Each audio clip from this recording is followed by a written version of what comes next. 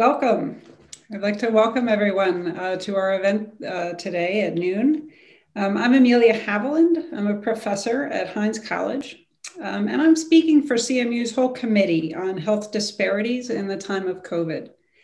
Uh, first, thank you uh, for attending our panel. There are many demands on everyone's time, and we appreciate your making the choice to be here with us. The COVID pandemic has shown a spotlight on and increased public awareness around health disparities. Dean Krishnan tasked our committee with creating programming for the CMU community on solutions regarding health disparities in collaboration with the Cause Center at CMU, that's the Center for African American Urban Studies and the Economy. Our committee's efforts have been fully collaborative. You can see the committee members down at the bottom of this first slide. Uh, between the students, staff, administrators, and faculty on the committee. And I thank everyone for your time and input as we've been uh, putting this programming together. Okay, let's move right to our panel. Today's panel is one in a series of events co-sponsored by Heinz College and Cause on this topic we're really excited. I've been really looking forward to this panel um, uh, to hear from our panelists. We have with us four Heinz College alumni uh, who have leadership roles in different types of organizations where they are out there making a difference, being part of creating and implementing creative solutions to reduce healthcare disparities. Uh, these folks have generously agreed to share their experiences with us um, and I'm really uh, looking forward to that. I'm going to move now introducing into introducing all four speakers, and then each of them will will share a little bit, um, and then we'll move into the the uh, question and answer part uh, with our student moderators. Um, so the first speaker will be Dan Lavallee, and he's the director of the UPMC Center for Social Impact. Among his responsibilities is leading UPMC's Pathways to Work program, which provides workforce training and educational opportunities to individuals who are on Medicaid. Dan also works on partnerships to serve people with intellectual disabilities, and he leads UPMC Health Plan's LGBTQ health programming and related initiatives. Before joining UPMC Health Plan, Dan ran for Congress in 2014, becoming one of the youngest people in recent decades to do so. He also led the merger of United Way of Butler County and United Way of Southwestern Pennsylvania. Dan serves on the boards of directors for the United Way of Southwestern Pennsylvania, United Way of Pennsylvania, and Community Health Services. He's chairman of United Way of Southwestern Pennsylvania's Butler County Local Operating Board, and he was recently appointed by Governor Tom Wolf to the Slippery Rock University Council of Trustees. In 2019, Dan was named one of Pittsburgh Magazine's 40 Under 40, which we're all familiar with, and managed healthcare executives 10 emerging leaders. Dan earned both a master's degree in healthcare policy and a bachelor's degree in policy and management from CMU. And he lives in Pittsburgh here with his wife and their daughter. So he'll be our first speaker. Then we'll move to Erin Dalton. Erin Dalton was recently appointed to be the director of the Allegheny County Department of Human Services. This is an integrated department with a budget of nearly $1 billion.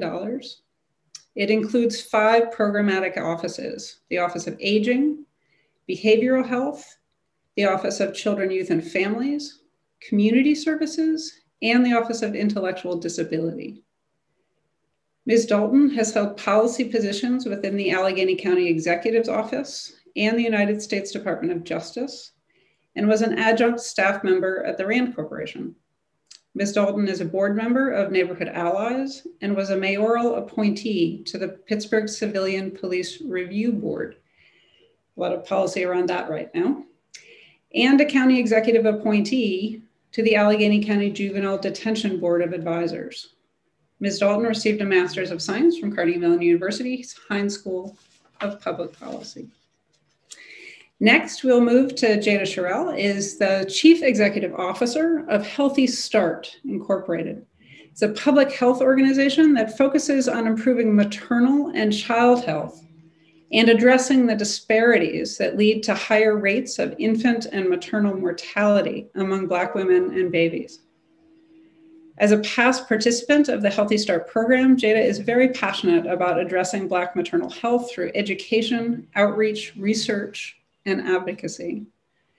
Jada's collaborative work with local, regional, and national maternal and child health partners includes serving on Pennsylvania's Perinatal Quality Collaborative, the Pennsylvania Perinatal Partnership, the Best Allegheny Equity Team, and supporting the University of Pittsburgh School of Medicine in developing educational content focused on health equity.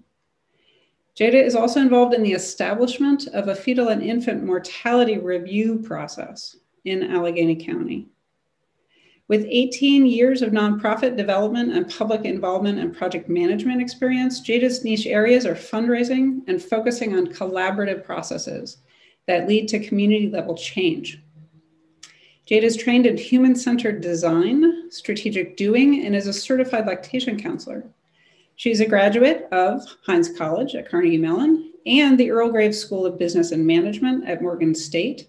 She is also a graduate of the local Coro Center for Civic Leadership Leaders in Learning program, completed the EDGE Leadership Program, and is a previous honoree of New Pittsburgh Courier's Fab 40. Jada is also the owner of J. Shirriel Consulting, which offers an array of services primarily to nonprofit organizations around the theme of capacity, creativity, and collaboration. Our final, final speaker is Peter Mann King. Uh, Peter serves as the program manager for Swedish Health Services LGBTQI plus initiative. The LGBTQI plus initiative is a one-year initiative to conduct a current state assessment of the care Swedish currently provides to the LGBTQI community and based on these findings to provide recommendations to Swedish for future programming and services. In addition to managing the LGBTQI plus initiative, Peter also is developing a system-wide service line for gender affirming care and hiring a healthcare navigator to support the gender diverse patients that seek care at Swedish. Peter earned a master's degree in healthcare policy and management from CMU and a bachelor's degree in Latin American studies and Spanish. He serves on the Gay City Seattle LGBTQ Community Center Board of Directors as co chair, where he's actively setting long term strategy for the organization. He lives in Seattle, Washington with his partner, and enjoys running, hiking, and playing volleyball. All right, without further ado, I am going to turn this over to our panelists and our student moderators. Uh, Dan, will you get us started? Sure, absolutely. That's right. I don't know. You want me to just kind of get going on some of the questions that we had and, and how we do that, or, or are there some you want to start with? Yeah, so thank you all for joining us today, and thank you to the panelists for being here today. So just to get started, I just wanted to get an overview of um, all the panelists' experience working in health disparities. So just some general questions about how your how does your organization work to address health disparities? How how has this changed uh, with COVID? And then kind of trying to get like an understanding of a trajectory. What did you learn at Heinz that kind of help with um, the work that you're doing now, and what have you learned since? So it's a lot of questions, but if you can um, share more about that, that would be great.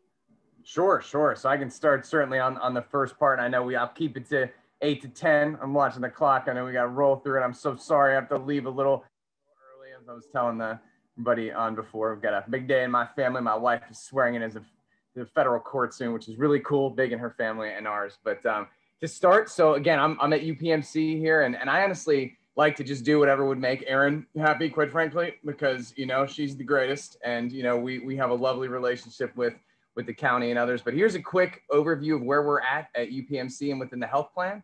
Um, so I'm on the health plan side, which we've got about four million members across the state, and then in um, other states, you know, across the region. So recently, and this is right before the pandemic, and it's helped us especially tackle some of the disparities during the pandemic. We launched a new uh, Center for Social Impact. That's all laser focused on how we can help our members, especially meet their social needs. You know, we know that you can't be thinking about going to the doctor if you don't know where your next meal is going to come, or if you've lost a job.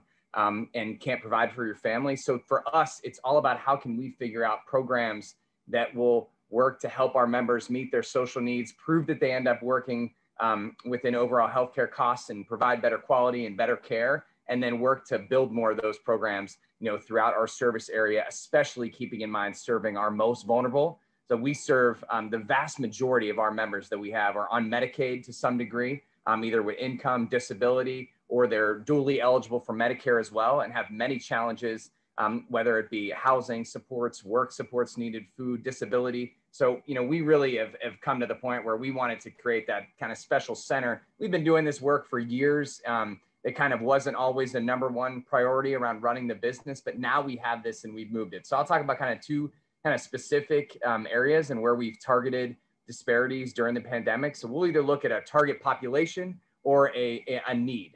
So like, you know, one in particular, our members with intellectual disabilities, before our partnership with Erin, where we were able to work a bit more with the county, we had really no idea which, you know, who our members were that were receiving supports um, for individuals that, that had um, intellectual disabilities. And now that we do that, we've focused quite a bit on how we can make sure that our care gets brought into the overall system for how individuals receive supports and services. So we've been able to you know, prevent emergency room visits and other hospitalizations, especially during this time, and help support those uh, organizations like Achieva and Mainstay and others right here who are providing such unbelievable care. So that's kind of one area, but then the other is looking at a, a, need or a disparity or a determinant, however we might want to kind of address it a little bit. And you know, one again is a wonderful program we've had um, with the county, and then a couple organizations here um, one in particular in the Strip District around how we can help our members who are homeless. And of course, during the pandemic, we've seen more and more, um, you know, become homeless or are housing insecure, sleeping on their friend's couch, staying with a family member, not sure where they're going to be,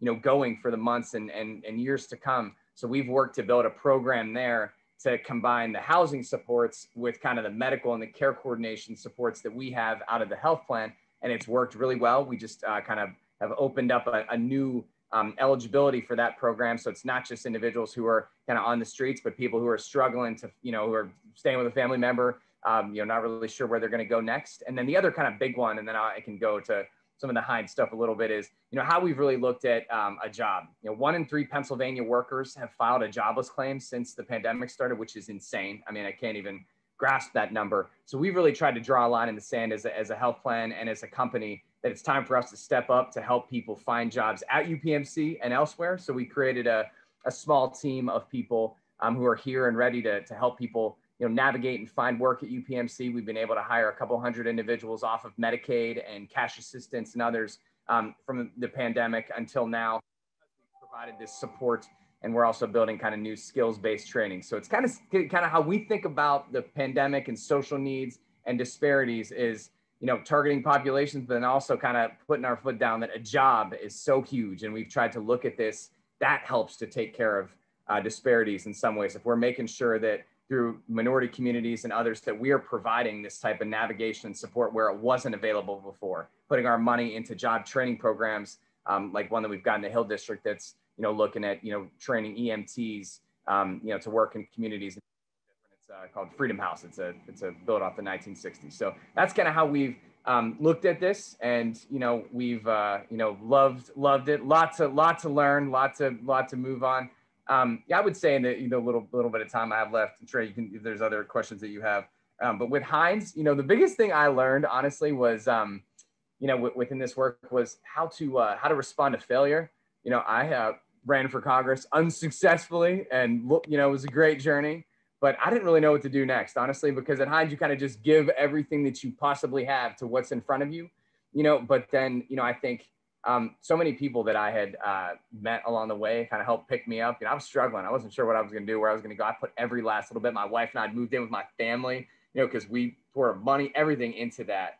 Um, you know, so honestly, you know, I learned I learned that how to recover. So any of you listening on the phone, honestly, you, you have your ups and downs. You can certainly come to me. I've had a, several downs, so we're always happy to talk, you know, and, and be through that. But just to respond and be passionate and, and knowing that I was never even closest to the smartest person in the room. But if you could figure out a vision and articulate that, there would be, you know, smart and wonderful people who you can bring with you to, to kind of make some change, you know, and, and that's what I've taken, you know, into this large organization that I work now. And, uh, you know, that's what I'll always take forward. So those are a couple things, right? What, what else would you like me to hit on in the few minutes I've got left? Yeah, I think that's a really great um, introduction. And just wondering kind of about, you're talking about like some of the work you do with the county. So um, what are your thoughts on kind of these like connections between like a, an organization like UPMC and like the public sector? Yeah, I mean, so a couple in particular, and Erin can, you know, can can say good or bad, you know, our partnership. But we have, we're so grateful to her and the leadership that that she's provided because we've now been able to see and understand more about our members than we ever had before, so we could collaborate and make sure we're doing what each of us do best. And that is just the most beautiful thing. I haven't seen anything around the country like what we have, you know, with with with the county from a plan and you know the the kind of just leadership from a government perspective and then i would say another one we would be nowhere in this pathways to work journey if it wasn't for partner for work which is the public workforce system here in allegheny county and other workforce boards we just linked up with them you know they are providing support to our members and people in need and we have the jobs and then we also have kind of that other wraparound so the biggest thing that i learned and learned this at Heinz a little bit but now in practice is like there is just there are connections to be made if you just are willing to be kind of vulnerable, say what you don't know, make that connection and try to find a, a way forward. And I think we've done that in some ways. We can always do better, much better. Um, but there is a that without that link, you know, we're not uh, we're not doing our job. So you know, I would say that's the biggest thing I've learned, and uh, to find people you trust and find people that trust you and build that, I think is you know that's what gives us hope for you know the future and knowing what you don't know. That's an, another thing I learned at Heinz. It's helped me now. A lot of things I didn't know, and just to be straight about that and find people who you can work with to get to the ultimate goal.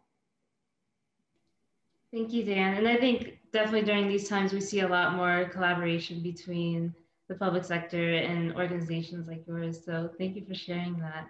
Um, and before I move on to asking Erin more about her experience, I just wanted to let, everyone know that you can um, ask questions in the Q&A box, and then we'll ask those towards the end of the um, meeting today, so around like 1245. Okay, so Erin, I just want to going off of kind of what um, Dan said. I was wanted to hear more about what your organization is doing to address health disparities, especially during COVID, and kind of the lessons you've learned at Heinz and since Heinz that has helped you in your work.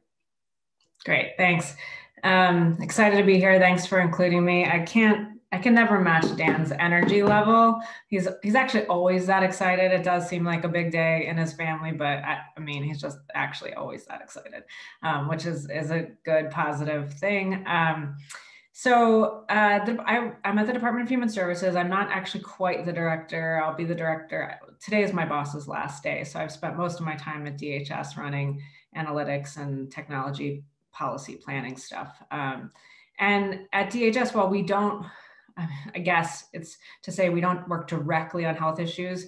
Everything that we do, um, you know, affects health and is really sort of at, at, its core a health issue. We we run child protection and aging services and work with partners run behavioral health, uh, so mental health and substance use. We, we work with programs like the program JADA runs. We've got a big um, initiative with JADA now, and both of us will see what impact hopefully it has hopefully it has a very good positive impact on um, reducing health disparities but um, it's it, you know these are all these are all experiments. Um, there's you know there's really there's really so much we try to do um, but just a couple of, of comments. Um, we try i think first to understand the disparities. So I, I, do come from more of the, the data side and learned a lot of that clearly at, at Heinz. Um, and, and to publish, be open about, about information. So um, for students and folks who don't know, if you go to Allegheny County Analytics, you will find a wealth of data tools and reports and infographics that you know didn't didn't exist before that help to understand how we're doing on various services and certainly disparities in those services.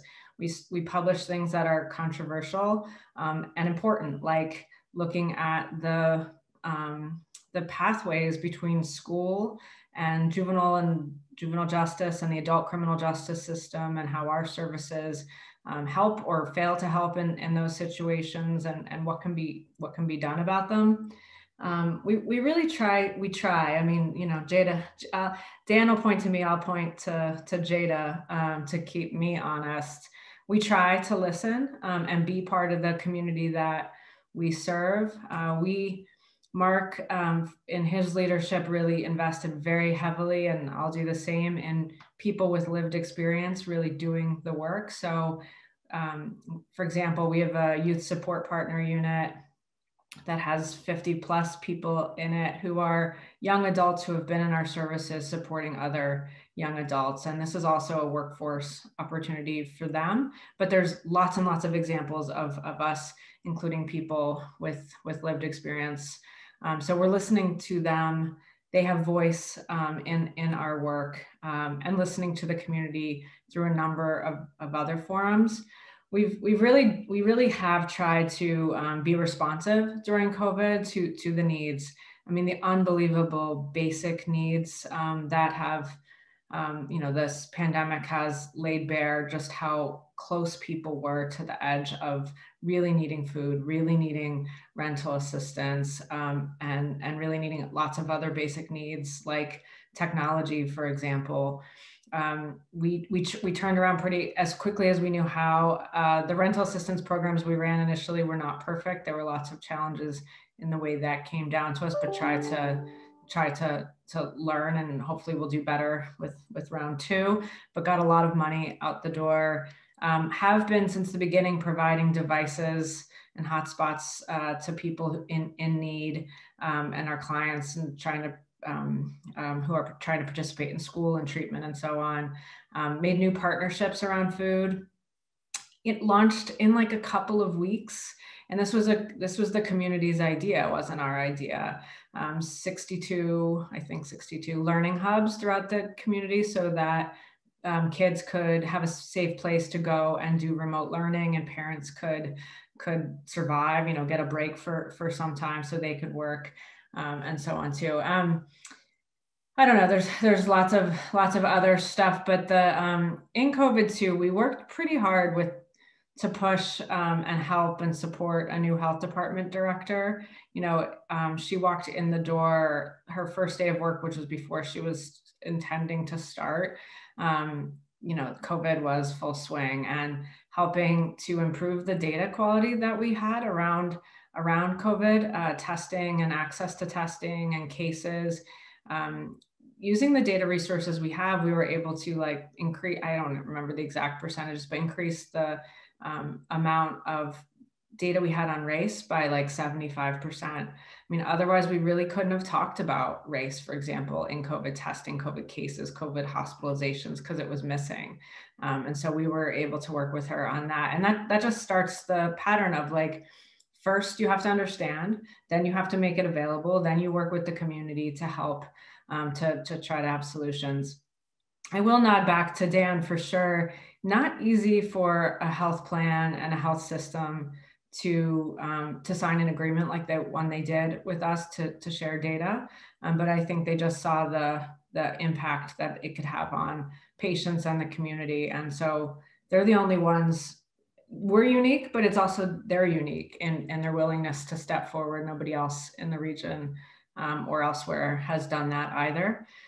Um, and I'll just say for on the hindsight, I mean, I think I think I have to just point to the to the data side, right? So like I, I learned none of this none of the things I learned are, are useful anymore. Um, um, and as as technology and and analytics continues to to change, um, but the way of thinking about data and technology. And um, I, I, certainly learned at Heinz, and we continue to hire lots of Heinz analysts, and I think we'll have some openings now. Even I, we can. Uh, Sylvia knows I um, um I go and bug professors up, up at uh, CMU for candidates with some frequency. So let me um, let me stop there and and um, see if there's anything that I missed or you'd like me to address. Yeah, thank you so much for that overview. I think it's it's really um, helpful to know kind of like how expansive the skill set at Heinz can like help you even as you navigate throughout your careers. So um, and just like new technologies and things like that. Um, so I was wondering, you talk a lot about um, how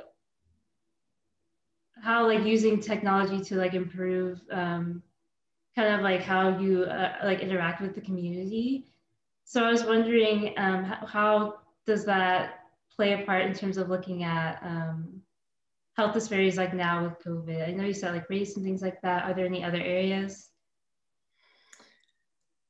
Yeah, I mean, I think there's a lot more we can do. Um, so, one thing we haven't solved, and most people haven't either, is really improving access to care by allowing people to share their experiences with care with one another. Um, you know, like it's it's a maybe overused example, but if you want to find like all the great places to eat wherever you are, you can read all kinds of reviews and figure out what is the right thing for you. The same thing doesn't exist with services, and so um, I think you know working with community and with people, we can we can um, improve the ability for people to help one another to find services, for example, and that's a certainly an area um, I want to invest in. Um, we've certainly taken big, like significant moves, uh, good or bad. Uh, I guess the world will will reflect later, but we've tried to do it ethically um, in in the use of data to help make decisions. And so um, we and I think I do, I mean, the evidence so far suggests to me that we are using those data to help reduce um, disparities. Um, so for example, we, we previously um, didn't use data in this way to, to uh, help prioritize people for homeless, for housing services rather. So housing is a really scarce good. Um, it's an expensive good. And if you're and you should have good systems to identify who would um, who who should who should receive that housing. And so we use a predictive risk model there, and I think that will show that we're um, serving more of the right people, people at significant risk for things like emergency department visits and jail bookings and so on. Um, and, and we're trying big big um, big moves with that in the prevention space um, to help offer services earlier um, because we want to reduce the coercive parts of government. We don't want child welfare involved in people's lives. We don't want, we want to, I want to pull back the criminal justice system significantly. Um, uh, but we're using data to help drive some of those efforts. And um, so, you know, I, I, it's, it's, it's, it's groundbreaking and it's controversial. Um, and, but I, I do think we've tried to do that work with the community. And this is, again, another place Jada can, can keep me honest. So thank you so much, Erin. Yeah. And so now, um, Jada, since it seems like your two works really interconnected, um, I would love to hear more about how your organization is helping to reduce um, health disparities during COVID, and then kind of your like the learnings you took from Heinz and how that's helped you in your work. Yes, definitely. Well, first, thank you for the opportunity to be here um, and to speak to um, this audience and to be a part of this panel and to talk about the work of Healthy Start. So, um, our mission is to improve birth outcomes and, and to look at the Black white disparities in infant and maternal mortality um, across various levels. At the individual level, what supports and education do families need in order to be healthy? Um, within our organization, looking at um, our frameworks and how equitable they are. And then at the systems change level, how do we coordinate with systems um, such as the county DHS, such as UPMC and other um, health plans and, and health systems and look at, you know, what not only people's individual behaviors, but how are the systems impacting them? And so we, we use a social determinants of health framework. Um, so we can't talk about health disparities, which are preventable differences in people's ability to be healthy without talking about racism. And so as a public health organization, um, with, first of all, as a, as a Black women-led public health organization, we are very intentional in uplifting um, the work of other Black women in this space, in the space of birth equity. Um, and so Dr. Camara Jones, who's an epidemiologist, um, defines racism as the structuring of opportunity and assigning value based off of race. Um, that causes some people to be lifted up and other people to be held back. And so um, that is kind of the, the, fundamental definition that we use in doing this work. How are systems structured so that some people are advantaged and others are disadvantaged? And so we're very intentional in, in how we interact with our families and with community, keeping that in mind. It's not all, it's not even largely about the individual behavior. It's much, much more about the, the context and the social determinants. Um, I was in the Healthy Start program, the, the program that I now run. Um, it is a national program.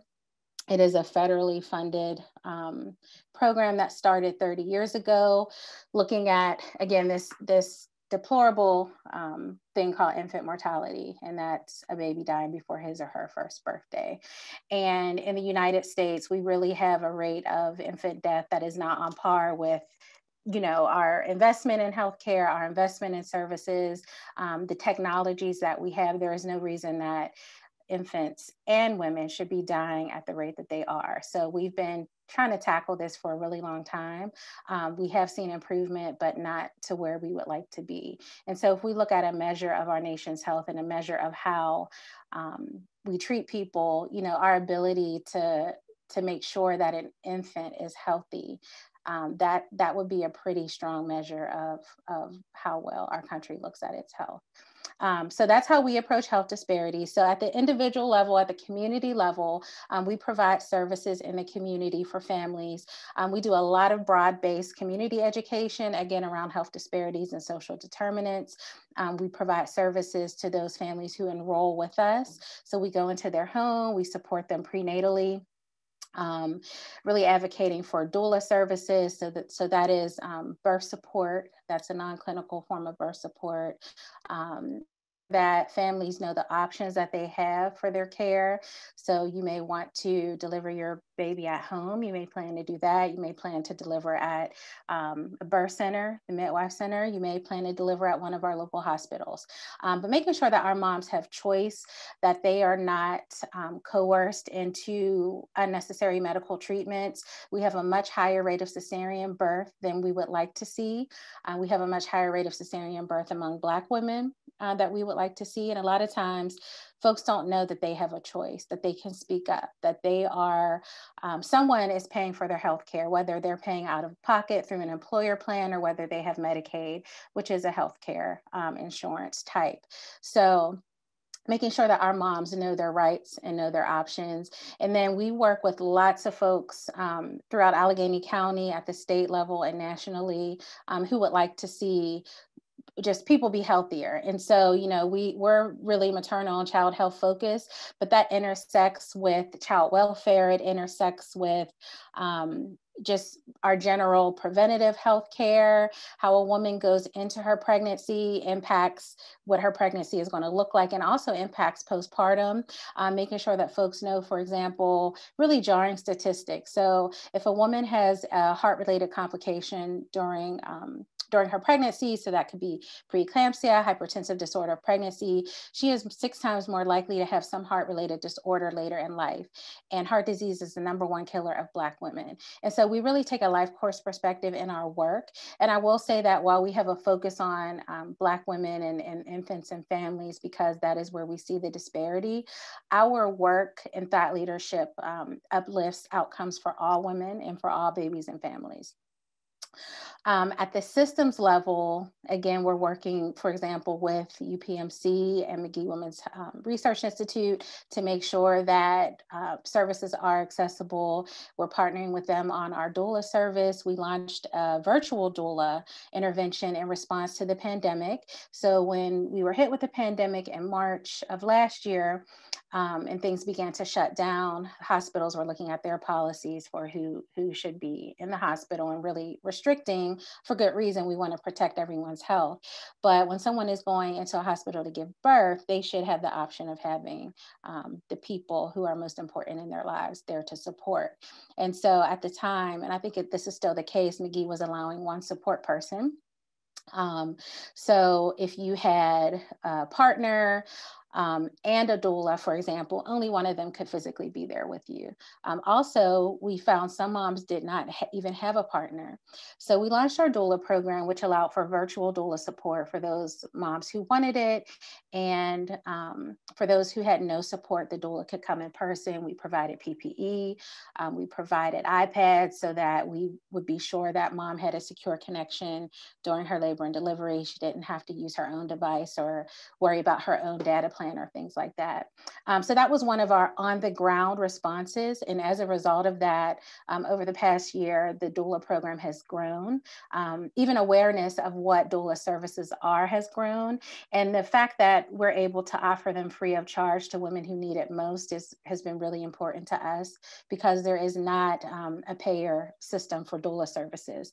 So those services in, in our community, for those who need them most, have been um, kind of spotty because we've been relying on, you know, foundation funding here or there that, that can come and go. So we're really working um, at the state and federal level to say, how can we get Medicaid to reimburse doula services? We provide lactation support. Um, so that's another area where we see a huge disparity in outcomes between Black and white women, rates of breastfeeding initiation and duration. Um, breastfeeding is a public health issue. It's not simply a preference.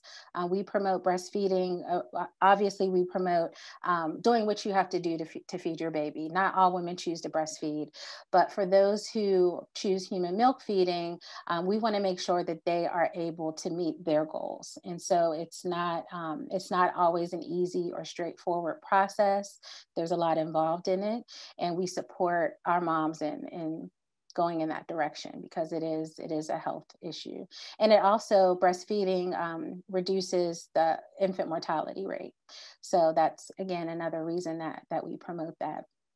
Um, some of the work that we're doing at the state level as part of the perinatal um, the PAPPC there's so many acronyms the perinatal um, Quality Collaborative with the Jewish Healthcare Foundation is looking at hospital practices. So again, I think it's really important that while we put, um, we recognize that individuals need support and they need resources um, and training and, and information, we also look at how our systems are working.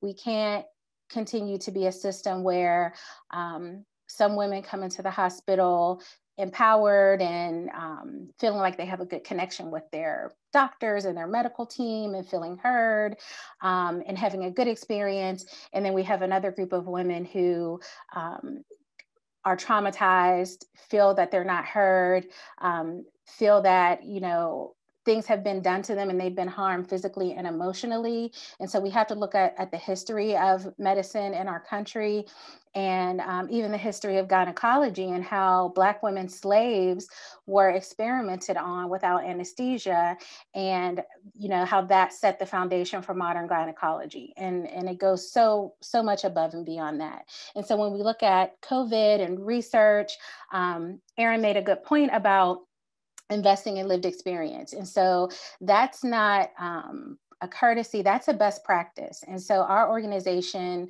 is very intentional in investing in lived experience as a as a balance to um, the data so the data is really important but so are the stories and so we invest in lived experience um, but we encourage our moms to be open to being involved in research but we also feel that research needs to be um, inclusive at the onset. And so the last thing that I'll say about um, investing in, in, lived experience as a um, as a, a, core practice and as a best practice is it's important in our work that we have those who have the lived experience leading the work.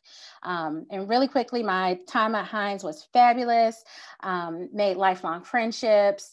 I, I did a management track. Um, I didn't do a health or health policy track, so I had no inkling of being in this particular um, space of public health when I was at Heinz, but um, if I could go back, I wouldn't do it any other way. Thank you for sharing that, Jada. And it's really it's really interesting work, and I think really relevant to all times. And thinking of now too, it's really especially important. So thank you for sharing that. Thank Um, and now I'm going to go to Peter. since you both work in healthcare, it seems like, seems like there's probably a lot of connections. Um, so Peter, if you can just talk about your um, work and how that relates to health disparities and also um, how that work might have cha um, changed at all due to COVID. And then also finally, if you can share your experience at Heinz and how that connects to your work or things you've learned. Definitely, and, and thank you for having me. It is the morning here over in Seattle, Washington, um, but I believe the afternoon over in Pittsburgh, and it's wonderful uh, to connect, reconnect back to the, the Heinz and CMU family. So thank you for having me. Um, my name is Peter. My pronouns are he, him, his, and uh, I work for Swedish Health Services, which is one of the largest not-for-profit health uh, systems in the Seattle Puget Sound area uh, with hospital system and a medical group and specialty care. So we have uh, pretty much almost every type of care across the spectrum when thinking about medical and some of the behavioral health pieces. Um, and so when thinking about health disparities, you know, I think Jada, Dan, and Erin have all touched on a lot of the key components that you can talk about. And, and I love that there's, you know, even the call out of, of listening to the community leaders, because I think that's where we started with the LGBTQI plus initiative, which we hope to really formalize and turn into a long-term program. And so, you know, I serve on a community uh, center, LGBTQ plus community center um, board, and so have been connected to the LGBTQI plus community. But I will say, you know, taking on a new space within a health system that a lot of this has already been highlighted historically has not been a, a place for many folks uh, to access uh, really started with rebuilding or starting to build the trust and relationship with our community. So I think that was fundamental to addressing any disparities before we even started to look at the data, started to look at um, what information we had internally, um, but to really start um, with our community and our community leaders to better understand where we need to look and how we need to look uh, when thinking about a program and services and really uh, a holistic approach to, to healthcare and wellness as well. So some examples of that uh, in a health system, if you think about all the complexities of technology, data, systems, processes, and, and so forth, uh, we started to look at um, our EPIC system, our electronic health record system, of course, for our population health data. Uh, similar, I think, what uh, Erin mentioned to race data, uh, it, it will be surprising that we actually captured and, and figured out that we only capture about 5 to 12% of our total patient population with any sort of sexual orientation or gender identity data. So uh, that is obviously not a, a, representative sample of the over 800,000 patients that we serve in the Puget Sound area. Um, and so that's one of the key pieces I'll say that really got our leadership's attention around if we truly believe in health disparities and serving our LGBTQI plus community and all of our communities, because sexual orientation and gender identity is not a single issue or, or singly important to the LGBTQI plus community, then we will better serve all of our patients. Um, and so that's one example of kind of what we brought to our leadership to get attention and, and some of our buy-in with the current state assessment that we've conducted. And on top of that, when listening to our community, our community leaders, we've actually had many listening sessions also with our, our youth. We Swedish runs a teen uh, health center in a few of our high schools. Um, so we've been able to go in and listen to our LGBTQI plus youth talk about healthcare, how they want to be included and involved and lead their healthcare. And so thinking about not only the systems, but also how we can redefine those systems. So you know, the fact that gender identity is many of the times binary in many of our places at the federal and state level. Uh, a lot of the things with the pandemic, for instance, like with our immunization reporting in Washington state, Washington state only collects male and female from most of our vaccination data. And so we've had a lot of internal conversations about how do we best capture gender identity uh, when it comes to um, the binary fields that our, our state and also CDC is requiring in those reporting. How do we best capture that? How do we also acknowledge that those are not representative of, of our community that we serve? And what language do we use to also invite people uh, to recognize that and, and also provide feedback and, and who they are. So that's one example too during the pandemic that this, this important work that we do is also brought to the forefront um, with advocating at the state level even around changing systems and, and of how we capture uh, that data um, to better advocate again on behalf of our communities. Um, in terms of Heinz, I've, I've highlighted a lot of that, you know, I think through systems, um, and the and the familiarity with data, I would say that's really been uh, the most helpful for me in this new role. Um, I've gone through a lot of different uh, places in healthcare since Heinz and previous times. So been in the global health, community health, uh, public policy. I worked for the Government Accountability Office for a few years after um, Heinz, and then most recently was doing quality improvement and um, safety work for Swedish. Um, so all of those things uh, connect in and, and better understanding how we capture data, how the systems interact um, has really informed all of the work that we do to better connect it to not just LGBTQI plus issues, but issues that will ultimately improve the health and well-being of all of our patients in the community we serve. Uh, one other example, which I've been working through is, you know, through our HR system. So as we think about the third party and all of the technologies that all of our organizations uh, contract with, uh, it's also important to bring best practices to that. And so one example that I'll just share too of how systems work is uh, we contract through um, probably 20 or so different systems for hiring. I'm currently hiring a, a healthcare navigator to support our transgender patients and gender diverse patients uh, to better access our gender affirming services that we already provide. Um, but we believe that we need a leader and somebody from the community to help navigate those services internally as we build capacity.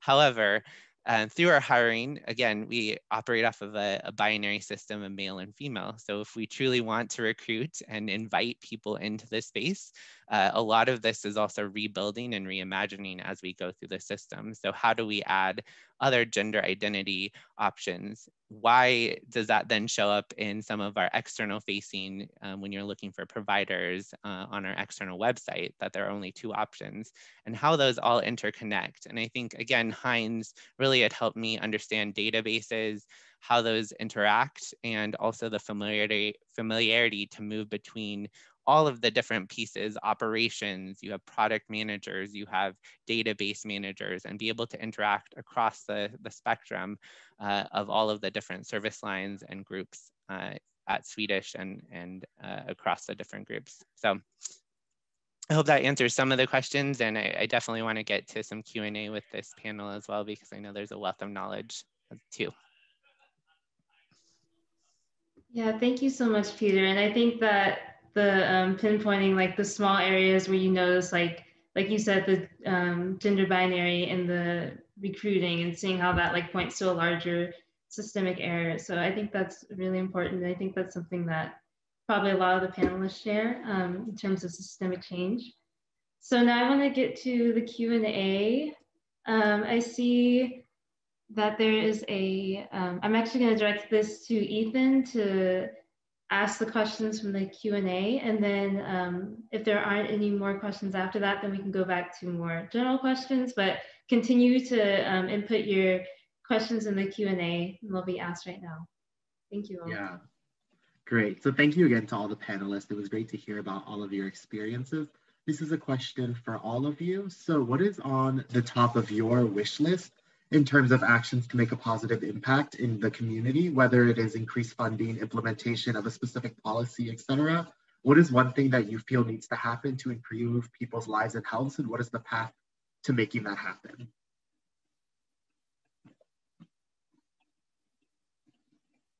And any of you can start off with this. I mean, yeah, I'll start. This is Erin.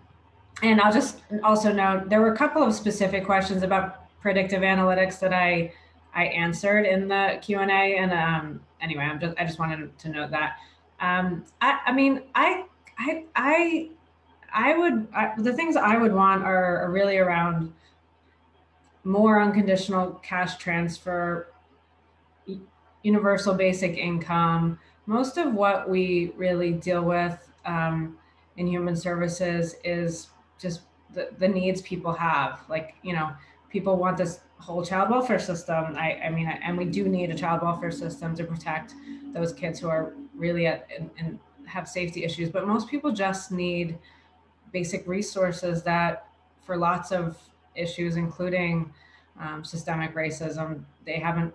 Um, we haven't provided access to, and so um, if I could wave magic wands, um, I would. I would want you know healthcare for folks and universal basic income and you know testing unconditional cash transfer to help solve problems for people rather than all of this stuff we put together.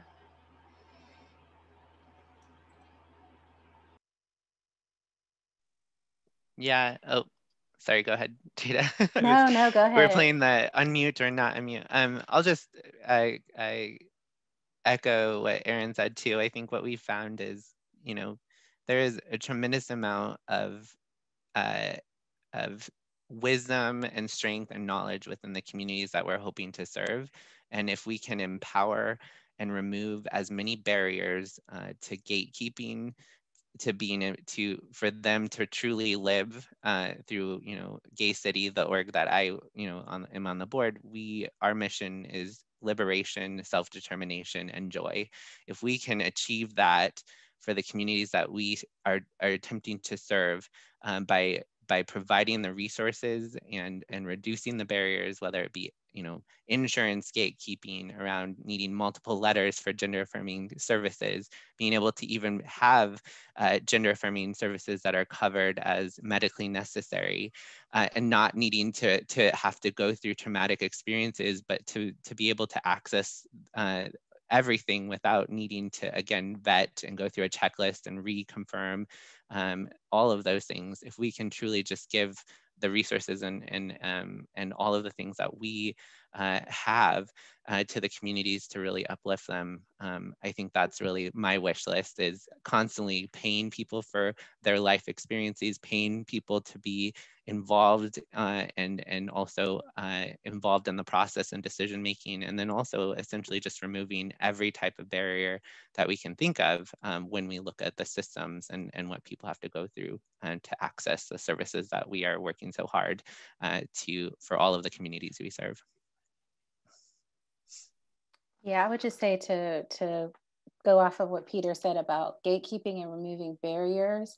Um, and this is, you know, it's, it's, hard to pinpoint one thing, but um, health and housing go hand in hand. I think when we look at, like, you know, go back to undergrad and psychology 101, Maslow's hierarchy, most there are a lot of people that don't even have their basic needs met and sometimes to get to those basic needs they have to navigate um, systems that are unnavigatable for them because they're going through so much. So like housing, um, uh, health when a, maternal child health is is really health for everyone but it's not only about someone choosing to reproduce it's also about how healthy were you when you were 12 years old um, what happened in your life earlier the aces you know adverse childhood experiences trauma um, so it's all it's it's really hard to pinpoint one thing because everything is so interconnected but just not having so many barriers for people to get what they need and barriers being navigating systems but barriers also being